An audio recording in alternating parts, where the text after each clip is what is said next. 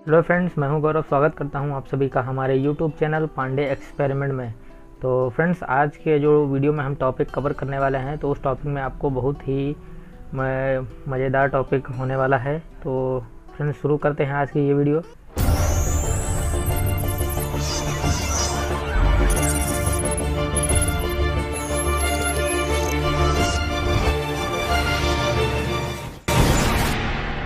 तो दोस्तों, आज की वीडियो में हम जानेंगे कि जो हमारा लाइन टेस्टर होता है, वो उससे हमें करंट क्यों नहीं लगता है? तो इस प्रकार का आपने लाइन टेस्टर देखा रहा होगा।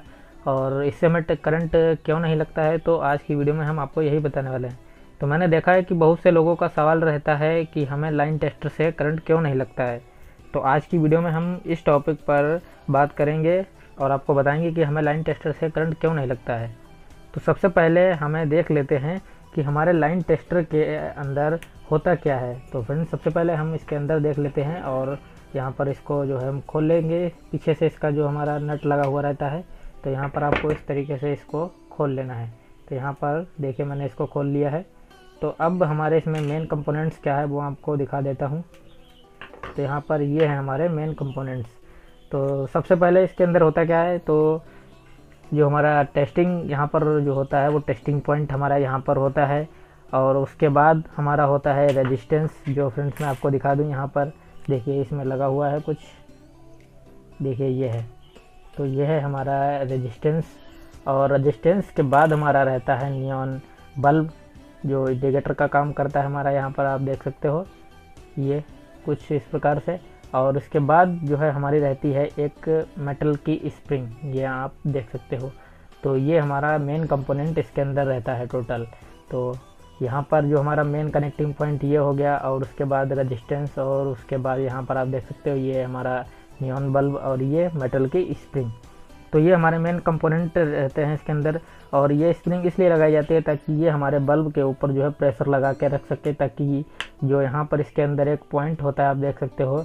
तो जो कनेक्टिंग पॉइंट होता है तो उससे जो है रजिस्टेंस को टाइट रखे और बल्ब भी हमारा टाइट रहे ताकि इस इधर उधर ना हिले। तो इसलिए ये हमारी जो है स्प्रिंग लगाई हुई रहती है, ताकि ये बल्ब हमारा ना हिले और टाइट रहे। तो सबसे पहले करंट हमारे टेस्टर के टेस्टिंग पॉइंट से होकर रेजिस्टेंस के माध्यम से हमारा जो है बल्ब तक आता है। तो यहाँ पर आप इसको ऐसे देख सकते हो, जैसे ये है। कनेक्टिंग जो हमारा पॉइंट और उसके बाद यहाँ पर जो है हमारा इसमें आप रजिस्टेंस ऐसे लगा हुआ रहता है, उसके बाद जो है हमारा इस तरीके से बल्ब लगा हुआ रहता है इस प्रकार से। और ये आपस में सभी कनेक्ट रहते हैं, उसके बाद ये हमारी स्प्रिंग लगी हुई रहती है। तो इस प्रकार से ये रहता है उसके बाद ये हमारा कुछ इस प्रकार से देखिए मैं आपको दिखा दूँ। जो है लगा हुआ रहता है, ताकि ये इससे कनेक्ट रहे, ताकि हम इसको टच करें। और ये पीछे से हमारा जो है कैप लगा हुआ रहता है इस प्रकार से।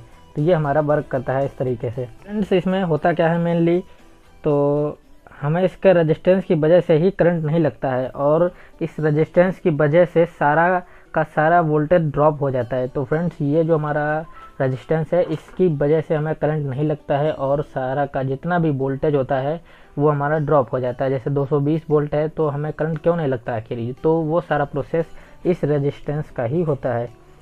तो जिसकी वजह से हमें करंट नहीं लगता है और सिर्फ़ चार से पाँच वोल्ट ही बचते हैं जो हमारे बल्ब में पहुँचते हैं। तो फ्रेंड्स इस बल्ब में हमारे चार से पाँच वोल्ट ही पहुँचता है। और हमें ये न्यूट्रल जो हमारा ग्राउंड यहाँ से दे देते हैं मतलब कि हम पीछे से अटैच करते हैं तो ये हमारा ग्राउंड मिल जाता है। और इस साइड से इसको जो है 220 वोल्ट लाइन मिल जाती है। तो हमारा फ़ेज़ जो है इधर से आ जाता है और न्यूट्रल हमारा इधर से मिल जाता है। और न्यूट्रल तो हमारा सर्किट जो है कंप्लीट हो जाता है, पूरा हो जाता है और हमारा टेस्टर ऑन हो जाता है तक जब ये हमारा बल्ब ग्लो करता है। तो हमें पता चल जाता है कि हमारी सप्लाई आ रही है। तो इस प्रकार से आपने चेक भी किया होगा कि पीछे से उंगली लगा कर चेक किया होगा तो हमारा जो है लाइन टेस्टर चालू हो जाता है। तो आइए फ्रेंड्स जानते हैं कि जो हमारा ये रेजिस्टेंस लगा हुआ रहता है, ये कितने ओम का है? कि कि जिसके कारण हमें करंट नहीं लगता है और इसके रेजिस्टेंस का मान जो है मेजर करेंगे कि इसका जो है हमारा रेजिस्टेंस का वैल्यू क्या है। तो इसके अंदर हमें एक डिजिटल मल्टीमीटर की ज़रूरत पड़ेगी। तो फ्रेंड्स जैसा कि आप यहाँ पर देख सकते हो, ये है हमारा डिजिटल मल्टीमीटर तो इस प्रकार से आपको उसको खोल लेना है। और मल्टीमीटर को हमें यहाँ पर देखिए, आपको लिखा दिख रहा होगा 2000 के, यहाँ पर आप देख सकते हो तो मल्टीमीटर को हमें यहाँ पर सिलेक्ट कर लेना है। यहाँ पर आपको मैं शो भी करा देता हूँ, के। तो इस प्रकार से आप देख सकते हो। और उसके बाद हमें क्या करना है तो मल्टीमीटर की दोनों प्रॉब को हमें लेना है आपस में, और जो हमारा ये रेजिस्टेंस है, इसकी दोनों पॉइंट्स पर हमें अटैच करना है। तो इसकी वैल्यू हमें यहाँ पर शो होगी। तो आप यहाँ पर देख सकते हो कि इसकी वैल्यू क्या यहाँ पर शो हो रही है।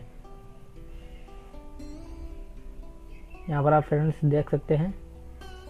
थोड़ा प्रॉब्लम हो जाती है क्योंकि कनेक्टिंग पॉइंट अच्छे से नहीं प्रॉपर हो पाता है।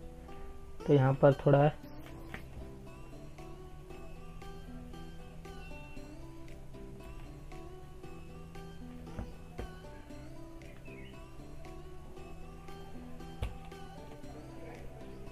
तो यहाँ पर फ्रेंड्स जो हमारी रेजिस्टेंस है, वो हमारी वन मेगा ओम्स की है, क्योंकि ये मल्टीमीटर हमारी जो है करंट वैल्यू हमें नहीं शो करते हैं तो इस प्रकार से ये जो है रेजिस्टेंस हमारी वन मेगा ओम्स की है।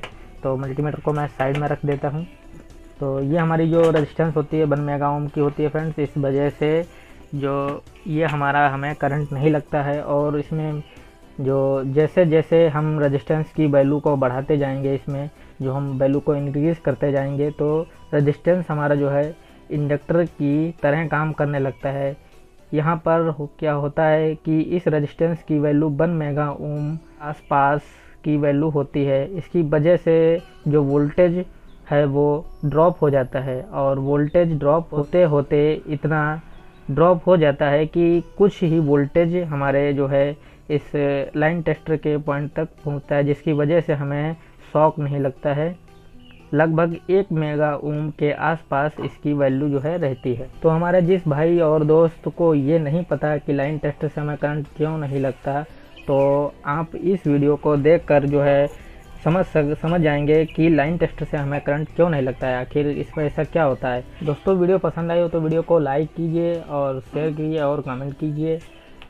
तो और अभी तक आपने हमारे चैनल को सब्सक्राइब नहीं किया है तो सब्सक्राइब कीजिए और आल नोटिफिकेशन बेल को जो है ऑन भी करें ताकि इलेक्ट्रिकल और इलेक्ट्रॉनिक से रिलेटेड वीडियो की जानकारी आपको मिलती रहे। सबसे पहले तो चलिए मिलते हैं किसी नए कंटेंट के साथ। जय बंदे मातरम।